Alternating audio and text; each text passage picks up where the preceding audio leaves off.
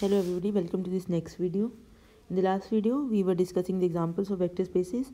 So in the last example which i have discussed that is mmn this is matrix of size all the matrices of size m cross n with entries from r or c or any other field right? This forms a vector space over the field from which the entries are taken so MMN forms a vector space over this was the fifth example over R and the operations are defined as so you have a fixed size of matrix say 2 cross 3 and another is also a fixed size m cross n 2 cross 3 so addition is like simple matrix addition you add component wise. Okay component wise addition and then the scalar multiplication is defined as alpha times the matrix. Each entry will be multiplied with this alpha right? So this is a normal multiplication of a matrix with a scalar. Multiplication of a matrix with a scalar. So you can see that with these two operations mmn forms a vector, uh, a vector space over r or c or any other field f from which the entries are taken. And the last example is this is function space.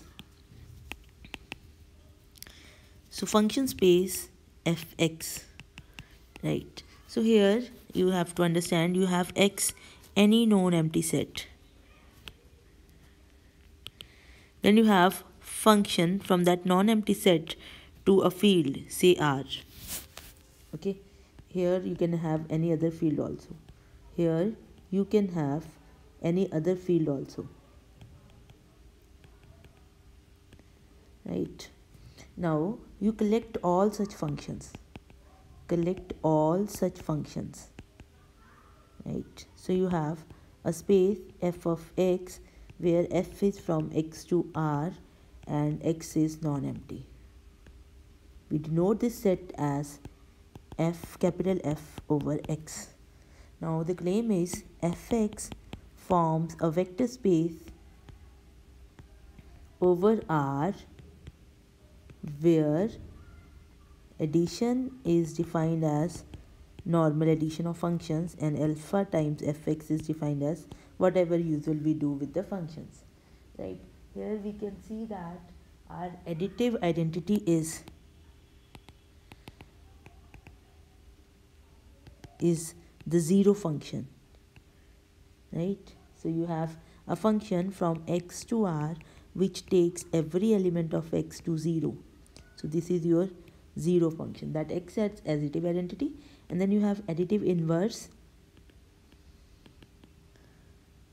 So for a function f of x we have minus f of x. If fx is in capital f of x this also belongs to capital f of x.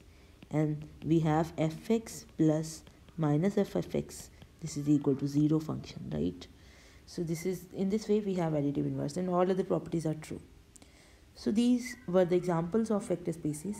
So till now what we have done we have done you know we have defined a field and then we have defined a vector space right? And then we have defined uh, we have seen some examples of vector spaces right? Now we will move further to discuss about you know some properties of vector spaces what we can expect from this type of you know mathematical structure.